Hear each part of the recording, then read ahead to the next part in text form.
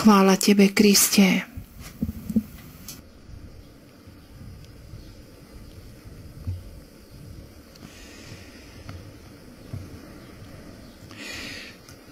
Isus Ježiš ustanovuje církev kao svoj produžetak, mogli bismo kázať. ako svoje predlženie, mohli by sme povedať, ako miesto pôsobenia Ducha Svetog, ako Ducha Svetého, ktorý vychádza z Otca i Syna.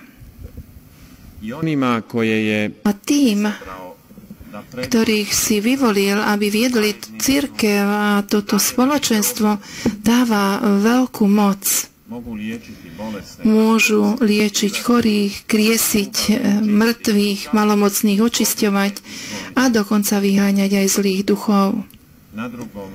V inom mieste im povedal, že môžu a budú činiť väčšie diela, než on činil, samozrejme ako silová mocou Ducha Svetého a posielajúcich medzi stratené ovce domu Izraelovho aspoň na počiatku im rozkázal cestou hlásajte, priblížilo sa nebeské kráľovstvo. Chorých uzdravujte, mŕtvych krieste, malomocných očistujte, zlých duchov vyhánajte, zadarmo ste dostali, zadarmo dávajte. Oni sú poslovia radosnej zvesti, Boží poslaní poslovia. Dáva im sa Božia sila pre svedectvo, že Boh je na blízku.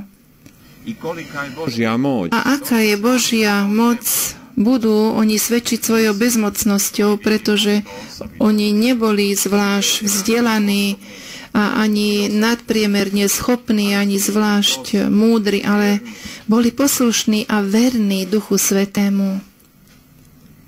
Oni navješćuju Oni zvestujú Božou mocou a nie svojou múdrosťou. Svet, do ktorého idú, vyzerá chorý, bez života, stratený a dokonca aj nebezpečný. A oni prinášajú zdravie, istotu, život, pretože skrze nich pôsobí Boží duch. Ten duch sa bezplatne zadarmo dáva a zadarmo sa aj odovzdáva. A on činí skrze nich zázraky, prináša oslobodenie, uzdravenie, radosť a všetko robí novým. Avšak to, čo je oveľa dôležitejšie pre budúce pokolenia, rody, apoštoli, vlastne ich nasledovníci liečia, budú liečiť chorobu hriechu, ktorú nemôže nikto liečiť, len Boh. Oni môžu pokladať ruky a hovoriť, buď čistý, ja ťa rozhrešujem. Už nie si nepriateľ Boží, už nie si viac v nepriateľstve s Bohom, ale môže byť, môžeš byť jeho priateľ a budú môcť hovoriť.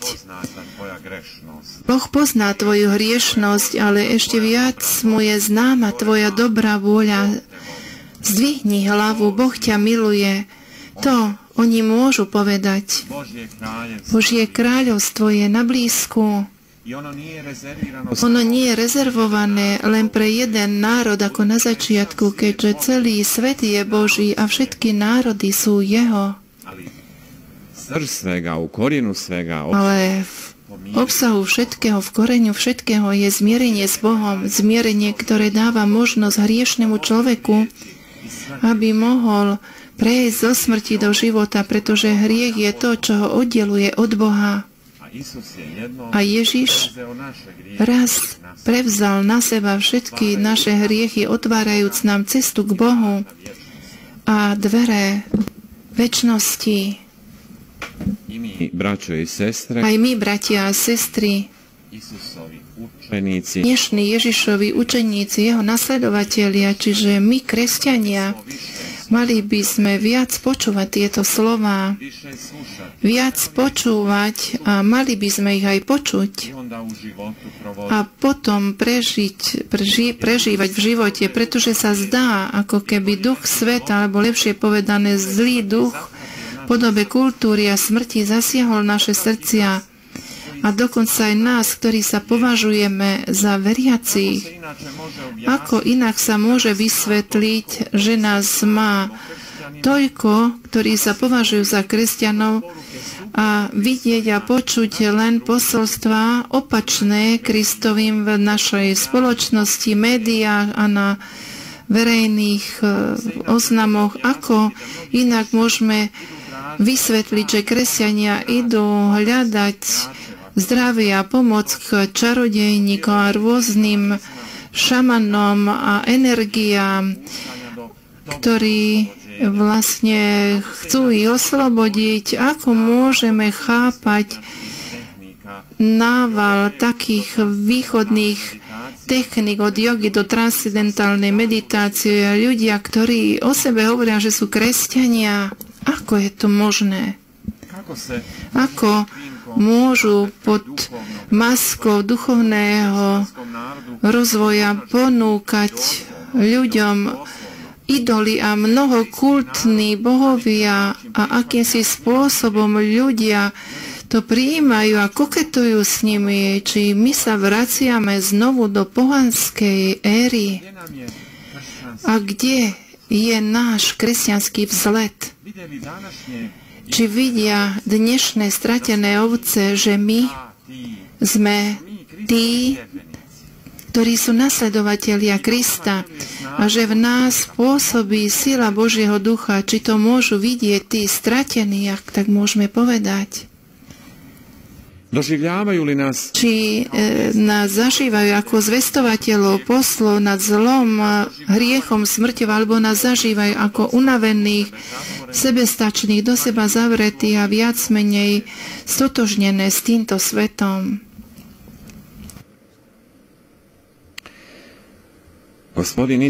Pán Ježiš bol zasiahnutý tým množstvom, ktoré ho nasledovalo, ten zástup, ktorý očakával útechu, ktorý očakával uzdravenie aj duše a aj tela, ktorý očakával spásu a záchranu. Bol zasiahnutý a spolu cítil s nimi a činil všetko, aby ich toho oslobodil, ale zodpovednosť a moc, aby v jeho mene zvestovali nebeské kráľovstvo, činia to isté a on to prenáša na svojich učeníkov. A v tejto službe a pod týmto bremenom najčastejšie chápeme v dnešnej dobe našich duchovných pastierov, diakonov, kňazov, biskupov. Aj keď je to povolanie a zodpovednosť každého kresťana, každého kresťana. A to nie je malá vec. Vôbec to nie je malá vec. Zodpovednosť a je to úloha každého kresťana, ale samozrejme oči sú vždy upreté na tých, ktorí vedú to spoločenstvo. Dnes, bratia a sestry, sa môžeme medzi iným spýtať, koľko si vážime a koľko sa modlíme za našich kňazov, diakonov a biskupov, za tých, ktorých Boh pozval, aby ho zblízka, zbližša nasledovali, aby viedli jeho spoločenstvo. Jedným hneď to, či padne to, že niektorí nežijú dôstojne svoje povolanie, žiaľ sú aj takí, ale hneď spozorujú akéhosi Judáša, ktorým zatieni pohľad, takže kvôli nemu nebudú vidieť tých ďalších jedenáctich apoštolov, ktorí usilovne hodnoverne pracovali do konca svojho života, položiac aj svoj život.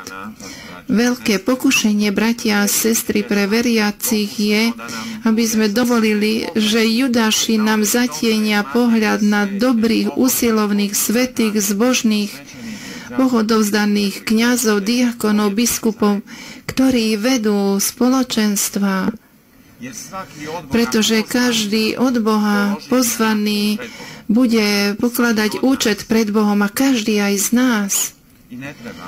A my nemusíme veľmi veľa sa tým zaoberať a súdiť jeden druhého. Nie viac menej, ale vôbec na to nás Pán Ježiš upozornil, nesúďte, aby ste neboli súdení. pretože súd a súdenie patrí Bohu a každý bude skladať účet pred Bohom.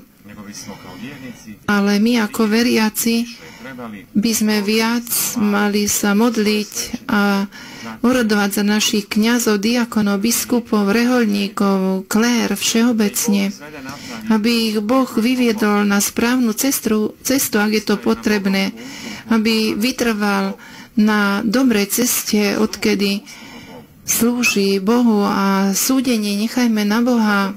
Preto, brata, sestra, nemáš, nie si tu preto, aby si využil E, využil Ježišové slova, ale máš rozmýšľať a modliť sa za svojho kniaza. Koľkokrát nás napadlo vôbec myslieť na celý rad kňazov, ktorých sme stretli vo svojom živote. A ak je niečo nedobré, alebo sú rôzne príklady, lebo my sme všetci ľudia, tak vždy si ľahko na to spomenieme. Ale koľkokrát nás napadlo pomodliť sa za nich, za toho, ktorý ťa pokrstil, Možno sa na ňo nepamätáme, pretože väčšina z nás je pokrstený ako malé deti, ale mali by sme vedieť aspoň meno toho kniaza, ktorý nás pokrstil.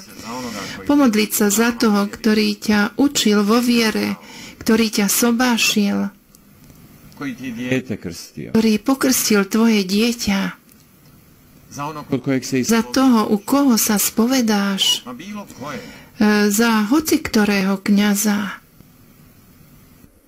Spomeň si dnes na svojho pastiera, modli sa za potrebnú silu a osvietenie, trpevlivosť, zdravie, odovzdanosť, trpezlivosť práci.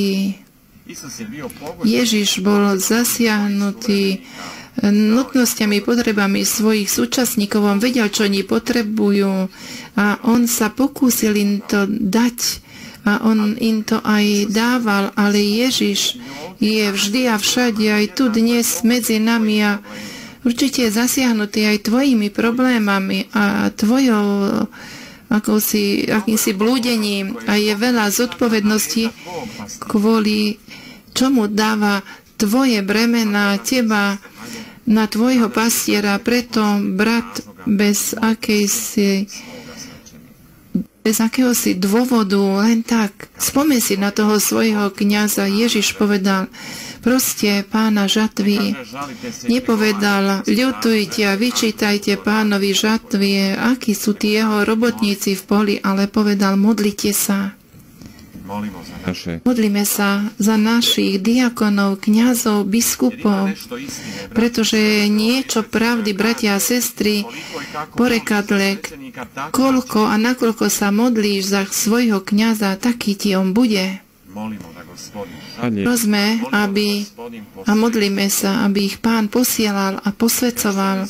Kresťania, my, bratia a sestry, nakoniec sme napriek všetkému len ľudia víťazného ducha, ľudia radostnej zvesti, musíme byť optimistickí a veselí napriek všetkému a aj pre nás, kresťanov, nevôle vo svete sú znakom, že svetu je potrebné priniesť Krista a preto tak aj činíme. Ak sme Jeho a ak sme kresťania, budeme robiť práve to. Budeme prinášať Krista strateným svojim životom, svojim svedectvom, svojim slovom a nejakým svojim konkrétnym činom prinášať Krista a priniesť Krista strateným. Vtedy uskutočníme svoje základné kresťanie poslanie a svoje kresťanské povolanie. Nech sa tak aj stane. Amen.